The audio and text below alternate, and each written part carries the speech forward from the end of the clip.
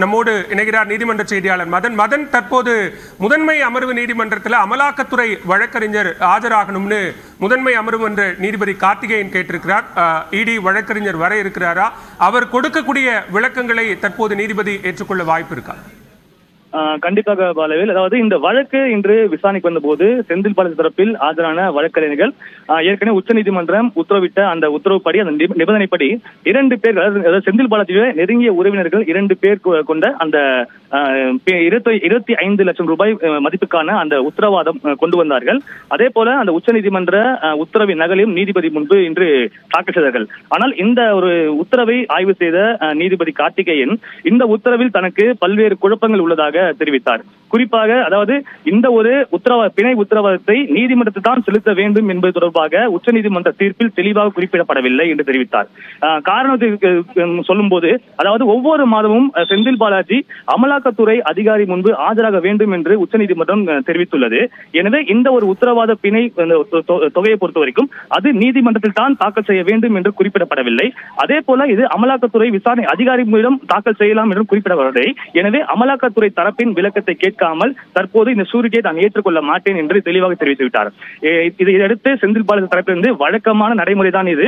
ஒரு உச்சநீதிமன்றம் ஒருவருக்கு ஜாமீன் வழங்கும் போது நீதிமன்றத்தில் தான் இது போன்ற பிணை உத்தரவை தாக்கல் செய்வார்கள். அதே போலதான் இந்த ஒரு வழக்கம் என்று தெரிவித்தார். ஆனால் அதை ஏற்றுக்கொள்ள மறுத்த நீதிபதி தனக்கு இந்த குழப்பம் தீர்வு வரைக்கும் தான் இதுக்கு இந்த சூரிட்டி ஏற்றுக்கொள்ள முடியாது திட்டவட்டமாக தெரிவித்துவிட்டார் தேவைப்பட்டால் இது தொடர்பாக அமலாக்கத்துறை அந்த பிபியிடம் இருந்து அந்த வழக்கறிஞரிடமிருந்து நான் விளக்கத்தை கேட்ட பிறகு அதாவது நோட்டீஸ் அனுப்பி அவர் விளக்கத்தை கொடுத்த பிறகுதான் இதை நான் தொடர்பாக முடிவெடுக்க முடியும் என்று தெரிவித்துட்டார் எனவே உடனடியாக சம்பந்தப்பட்ட அந்த அமலாக்கத்துறை தரப்பில் ஆஜராகி வரும் வழக்கறிஞரை நான் தாங்கள் தரப்பிலிருந்து நீதிமன்றத்துக்கு அழைத்து வருவதாக செந்தில் பாலாஜி தரப்பில் உத்தரவாதம் அளிக்கப்பட்டது. அதன்படி தற்போது அவர் சென்றுள்ளார்கள். எனவே இன்று மாலை செந்தில் அமலாக்கத்துறை தரப்பு வழக்கறிஞர் ஒருவேளை நீதிமன்றத்துக்கு வந்து ஆஜரானால் இந்த ஒரு விஷயத்தில் இன்று செந்தில் பாலாஜி வெளியே வருவாரா அல்லது காலதாமதம் ஏற்படுமா என்ற ஒரு விஷயம் தெளிவாக தெரிய வரும் பாலா.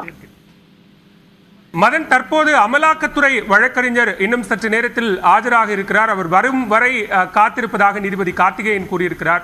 அவருடைய விளக்கம் போதுமானதாக இருக்கும் பட்சத்தில் முதன்மை அமர்வு நீதிமன்றத்திலேயே பிணை உத்தரவாதங்களை தாக்கல் செய்யலாம் என்கிற விளக்கம் ஏற்கும் பட்சத்தில் நீதிபதி கார்த்திகேயன் அதை ஏற்றுக்கொள்வாரா?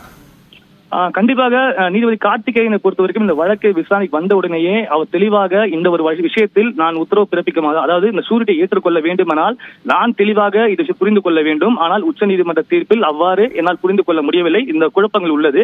எனவே அமலாக்கத்துறை தரப்பிலிருந்து தெளிவான அவர் தரப்பு விளக்கத்தை கேட்ட பிறகுதான் இதனை ஏற்றுக்கொள்ளலாமா வேண்டாமா என்று நான் முடிவெடுப்பேன் என்று தெரிவித்தார். அது மட்டும் இல்லாமல் இந்த ஒரு வாதத்தின் ஒரு கட்டத்தில் ஆஹ், செந்தில் பல தரப்பு வழக்கறிஞரை பொறுத்த வரைக்கும் தேவைப்பட்டால் நீங்கள் இதை நிராகரித்துக் விட்டுங்கள் நாங்கள் மேற்கொண்டு நாளை உச்சநீதிமன்றத்தில் நாடுகிறோம் என்ற ஒரு வார்த்தையும் எடுத்து வைத்தார்கள். இருந்தாலும் கூட அமலாக்கத்துறை தரப்புக்கு நான் நோட்டீஸ் அனுப்புகிறேன். அவர் தரப்பு விளக்கத்தை கேட்டுக்கொள்கிறேன். அதன் பிறகுதான் முடிவெடுக்க முடியும் என்று தெளிவாக தெரிவி- தெரிவித்து விட்டார். எனவே த- இன்னும் சட்ட நேரத்தில் அமலாக்க சம்பந்தப்பட்ட அமலாக்கத்துறை வழக்கறிஞர் நீதிமன்றத்திற்கு வந்தால் மட்டுமே இந்த ஒரு வழக்கில் ஒரு தீர்வு காணப்படும். அல்லது தாமதமானாலோ இல்ல அஹ், அமலாக்கத்துறை தரப்பு வழக்கறிஞர் சென்னையில் இல்லை அல்லது அவரை அவரை அவரை ரீச் பண்ண முடியவில்லை என்ற காரணம் இருந்தால் கண்டிப்பாக இன்றைய தினம் செந்தில் பாலாஜி சிறையிலிருந்து வெளியே வரதுக்கு வாய்ப்புகள் இல்லை பாலா. மதன் நம்மிடையே பேசிய மூத்த வழக்கறிஞர் விஜயன் சொன்னது என்ன அப்படின்னா செந்தில் பாலாஜி தரப்பு மீண்டுமாக உச்சநீதிமன்றத்தை அணுகணும். அணுகி அதன் அடிப்படையில் அவர்கள் ஒரு வரி தீர்ப்பில் சேர்க்கும் பட்சத்தில் மீண்டுமாக முதன்மை அமர்வு நீதிமன்றத்தில் பிணை உத்தரவாதங்களை தாக்கல் செய்ய நேரிடும். அதற்கு பிறகாகத்தான் செந்தில் பாலாஜி வெளியே வருவார் அப்படின்னு. ஸோ அதுதான் இப்போதைக்கு சட்ட ரீதியிலான வாய்ப்புகளாக இருக்கா? கண்டிப்பாக அதேதான் தான் செந்தில் பாலாஜி தரப்பு வழக்கறிஞர் கௌதமும் வாதிட்டார். அதாவது உங்களுக்கு இந்த உத்தரவில் குழப்பம் இருந்தால் நீங்கள் நிராகரித்து விடுங்கள். ஆனால் நிராகரிக்கப்பட்ட அந்த உத்தரவை உடனடியாக இன்றைய தினமே நீங்கள் அப்லோட் செய்யுங்கள். நாங்கள் நாளைய தினமே தொடர்பாக உச்சநீதிமன்றத்தில் சென்று என்ன குழப்பம் உள்ளதோ அதற்கான அந்த ஒரு அந்த தெளிவை நாங்கள் பெற்றுக்கொண்டு புதிய உத்தரவுகளை நாங்கள் பெற்றுக்கொள்கிறோம். ஆனால் இதற்கான காலதாமதம் ஏற்படுத்த வேண்டாம் என்ற ஒரு வாதமும் இன்று செந்தில் பாலாஜி தரப்பில் எடுத்து வைக்கப்பட்டது. இருந்த போதும் நீதிபதியை பொறுத்த வரைக்கும் இந்த விஷயத்தில் இரண்டு இரண்டு விஷயங்கள் தான். இந்த ஒரு பிணை உத்தரவாதத்தை நீதிமன்றத்தில் செலுத்த வேண்டுமா அல்லது என்பது அமலாக்கத்துறை செலுத்த வேண்டுமா என்பதில் தனக்கு குழப்பம் நீடித்து வருவதால் அமலாக்கத்துறை தரப்பிலிருந்து அந்த விளக்கத்தை கேட்ட பிறகு தான் தான் காத்திருக்கவும் தயாராக உள்ளேன். ஆனால் இது தொடர்பாக அமலாக்கத்துறை விளக்கத்தை உங்களால் முடிந்தால் அமலாக்கத்துறை வழக்கறிஞர் கொண்டு அழைத்து வாருங்கள். அவர் வந்து தன்னுடைய விளக்கத்தை தெரிவித்து விட்டால் நீதிமன்றம் செல்வத்தில் செலுத்துவதில் தங்களுக்கு எந்த ஒரு ஆட்சேபனை இல்லை என்று அமலாக்கத்துறை தரப்பில் தெரிவித்தால் தெரிவித்து விட்டால் இந்த வழக்கை நான் இன்றைய தினமே நான் விசாரணைக்கு எடுத்துக்கொள்கிறேன். அதற்கான விஷயத்தை நான் நான்- நடைமுறையில் நான் செய்கிறேன் என்று தற்போது தெரிவித்துள்ளார். எனவே தற்போது நிலையை பார்க்கும்போது ஒருவேளை இன்றைய தினம் அமலாக்கத்துறை தரப்பிலிருந்து வழக்கறிஞர் வராவிட்டால் கண்டிப்பாக இந்த ஒரு மனு நிராகரிக்கப்படும் அல்லது தொடர்பாக விளக்கம் கேட்டு அமலாக்கத்துறைக்கு நோட்டீஸ் அனுப்பப்படும். ஒருவேளை நாளை காலை இந்த வழக்கு விசாரணைக்கு வரும் பட்சத்தில் அமலாக்க தரப்பிலிருந்து தங்களுக்கு இந்த ஒரு பிணைத் தொகையை நீதிமன்றம் செலுத்துவதற்கு எந்த ஒரு ஆட்சேபனை இல்லை- என்று நேரில் தெரிவித்தால் நாளைய தினமே கூட இதற்கான வெளியே வருவதற்கு வாய்ப்பு உள்ளது. அப்படி அதற்கான வாய்ப்பு இல்லாத பட்சத்தில் உச்சநீதிமன்றம் சென்ற பிறகுதான் மீண்டும் புதிதாக ஒரு அந்த ஒரு கிளாரிபிகேஷன் பெட்டிஷன் போட்டு அது தொடர்பான அந்த உத்தரவு பெற்ற பிறகுதான் செந்தில் பாலாஜி வெளியே வருவதற்கான வாய்ப்புகள் உள்ளது பாலா.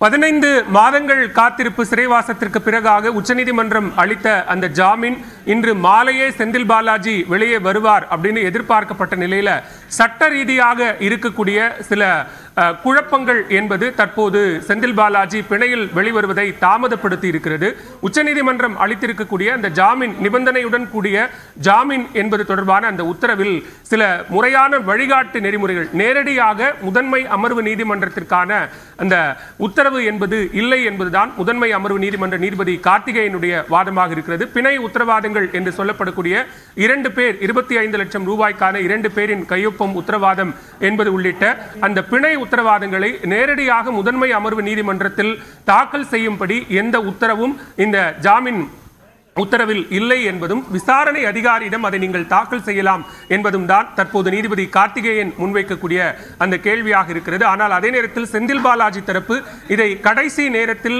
எப்படி விசாரணை அதிகாரியிடம் இதை தாக்கல் செய்ய முடியும் என்கிற கேள்விகளையும் எழுப்பியிருக்கிறார்கள். இந்நிலையில்தான் தீர்ப்பு தொடர்பான விளக்கங்களை பெறுவதற்காக அமலாக்கத்துறை வழக்கறிஞர் ஆஜராக வேண்டும் என நீதிபதி கார்த்திகேயன் கேட்டிருக்கிறார். அதன் அடிப்படையில் அமலாக்கத்துறை வழக்கறிஞர் தற்போது முதன்மை அமர்வு நீதிமன்றத்திற்கு அழைக்க அழைக்கப்பட்டிருக்கிறார். அவர் வந்து விளக்கமளிக்கும் பட்சத்தில் இந்த ஜாமீன் மனு ஏற்றுக்கொள்ளப்பட்டு பிணை உத்தரவாதங்கள் முதன்மை அமர்வு நீதிமன்றத்திலேயே தாக்கல் செய்யப்படலாம் என்பது ஏற்றுக்கொள்ளப்பட்டால் பிணை உத்தரவு என்பது முதன்மை அமர்வு நீதிமன்றத்தால் வழங்கப்படும். அது புழல் சிறைக்கு அனுப்பப்பட்டு அங்கு சட்ட ரீதியிலான நடவடிக்கைகள் என்பது முடிக்கப்பட்டு செந்தில் பாலாஜி வெளியே வருவார். ஆனால் அதே நேரத்தில் நம்முடைய செய்தியாளர் அபினேஷ் குறிப்பிட்டது போல மாலை ஆறு மணிக்கு மேல் சிறை கைதிகளை அந்த பிணையிலிருந்து விடுவிப்பது என்பது நடைமுறையில் இல்லாத ஒன்று. எனவே நாளை செந்தில் பாலாஜி வெளிவருவதற்கான வாய்ப்புகள் இருக்கிறது என்றும் ஒருவேளை அமலாக்கத்துறை தரப்பு வழக்கறிஞனுடைய விளக்கம் ஏற்றுக்கொள்ளப்படாவிட்டால் செந்தில் பாலாஜி தரப்பு மீண்டும் உச்சநீதிமன்றத்தை அணுகி அதன் அடிப்படையில்